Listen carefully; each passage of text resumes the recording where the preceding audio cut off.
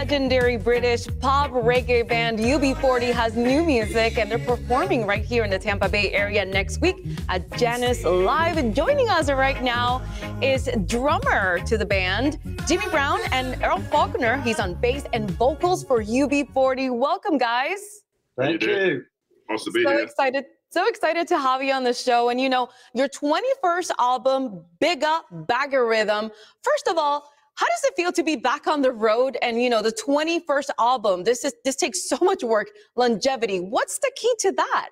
Well, first of all, let me say, well pronounced. A lot of uh, a lot of presenters have a bit of trouble with the bigger bag of rhythm uh, title. they seem to get tongue tied by it, but uh, well done. That's very good. Thank yeah, you.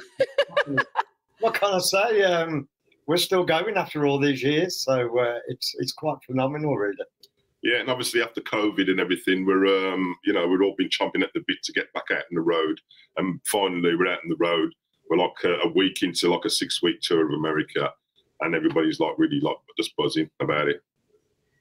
Excellent. And you know, talking about Baggariddim, you know, this is the the third album that you guys use that particular word. For some of us that don't know what it particularly means, could you describe what does Baggariddim mean to UB40? That's a good question. I'll let you do that. Yeah, it's basically just a bag with a load of records in it, being ridden. Like it's a Jamaican thing, isn't it? Like reading, you know what I mean? So it's just like records in a bag. And um, the bigger bag of rhythm thing has always been about other artists that we bring in and collaborate with. So whether they're rappers or singers, you know. So yeah, it's just like an ongoing project that we've uh, we, we started like many moons ago, like 30 years ago or something. That's right, because you have the Baggariddim, then little Baggariddim, and now this is bigger, right? so, So. That's right, yeah. Well, one of the reasons being because uh, the original one, we were just using local Birmingham artists, uh, where we come from, Birmingham in England. But uh, this time round, we've, we've been using international artists, um, okay. some, some Jamaican artists, also um, like Inner Circle, for instance. Uh, and um, also, we've, we're using um, a band from New Zealand called House of Shem, uh, who we became friends with over the years.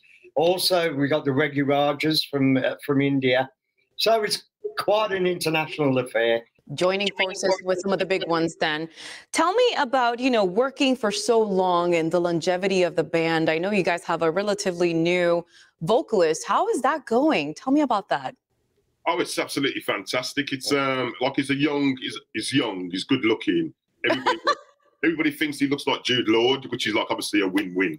So, and uh, he's, he's a lovely guy. He's, he's fitted in beautifully. He's like really calm and um, obviously he's been thrown into like major like major situations like uh, the Commonwealth Games we've done a few weeks back.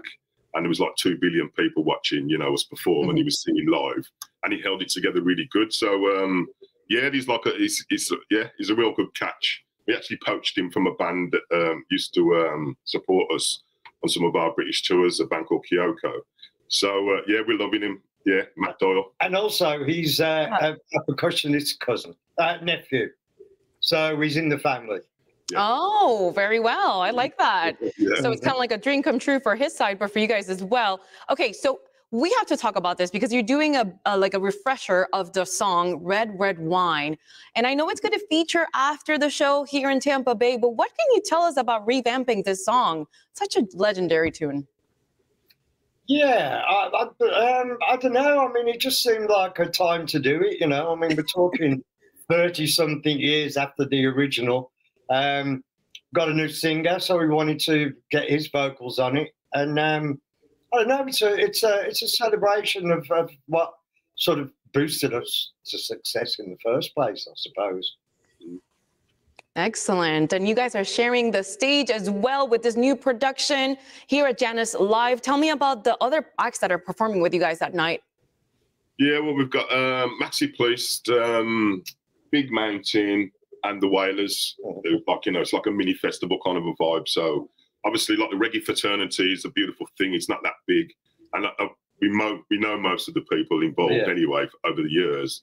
It's, uh, it's only like Big Mountain guys we've, we've only just recently met. So it's it's one it's, it's just a wonderful thing, you know. You're like all like troopers on the road and like let's get out there and do Yeah. a show on, you know. it's, it's yeah, it's like a little army of people. But like all the roadies and everything, all the production guys, you know, it's all like a yeah, it's all like a lovely, lovely vibe. Yeah. Mhm. And I know the repertoire is going to be amazing because you guys have so many great songs to pick from. I'm sure it's really hard. So, uh, UB40 will be performing August 30th. Jannus Live, the information on your screen. Thank you so much for coming to the show, guys. Best of luck with this new production called Bigger Baggerism. Uh, yeah. Love the well way you done, say that. Well done. Excellent. Thank you. Thanks, guys. Thanks.